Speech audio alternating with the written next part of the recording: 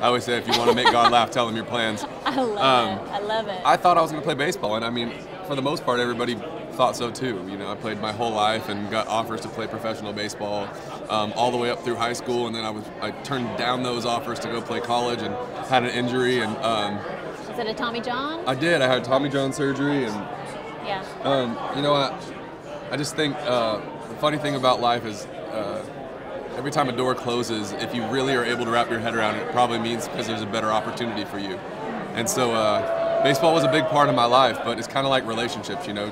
Just because it didn't work out doesn't mean you can't look back on it fondly. I'm really, really grateful for the, the years that I had playing baseball, and I had some really good experiences. And um, I'm now in a place where I wouldn't, I wouldn't change anything I or trade it for the back, world. So I, yeah. I saw that moment on your social media where you got the phone call from Reba, and looking back on all of that and think, wow.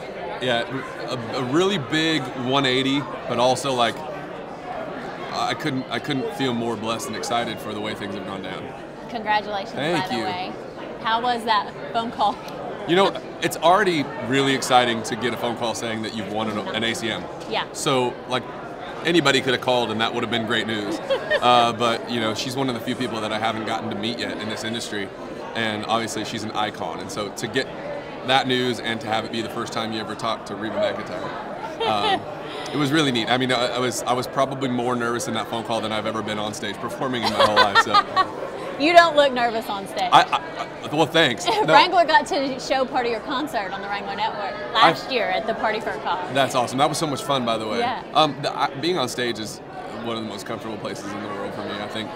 That's a Uh, gift. uh, well, it's and doing something that you love to do. I mean, I'm so aware that not very many people get to actually love what they do, and so um, I have so much fun on stage, and I'm so comfortable. And so when somebody like Reba calls you, that's when the nerves kick in. You're like, I remember, I remember, I got the call and I, I crossed my leg and I was like, just act cool. so if you saw my eyes get really big about 10 seconds in, that was me telling myself, just act cool, Brett. So your favorite on-stage moment? My favorite on-stage moment. You know, my favorite was uh, we we closed out last year with our first little headlining tour, and uh, that was the first time we started mixing uh, the current single into the set, uh, a song called Mercy. Yes. And uh, we had decided we were going to stick it in our encore because we didn't think anybody knew it yet. But my first single, Sleep Without You, was going to be the second song in the encore that we closed with. So we thought when we came off stage before the encore, everybody would be screaming for Sleep Without You. And, And the first night we screaming for a song we hadn't put to radio yet. And for me, we, I already knew I wanted to single it next, um, but it was that was my favorite moment because it was like they know this one already. Yeah, so that was really cool, and it ended up happening throughout the rest of the tour. But it was the first time we had an hour and 15 minutes every night to test it, and it was a really Yeah. cool moment. That's awesome. Your go-to on-stage outfit? Probably, th- I mean, Yeah, comfy. Every Oh. time I've seen you, you look like a always a t-shirt and jeans or uh, some sort of comfortable pants, and almost always in a pair of Chuck Taylors. Yeah. I'm a I'm a SoCal boy through and through. I can't I can't get it out of me. George Strait song. Run. Run, new Yeah. one. Has nobody said that? No. I love that song. I've been listening to country music for, I guess, 25 years now, Yeah. and uh, that's one Are that. you 25 years old?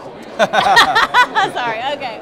Let's go with that. Yes, Okay. 25. and uh, that's one of the ones that uh, uh, most of his music is timeless, but for me, that that's one that that uh, continues to uh, transcend. Uh, every time country music changes a little bit, Yeah. that one still works. So I dig it.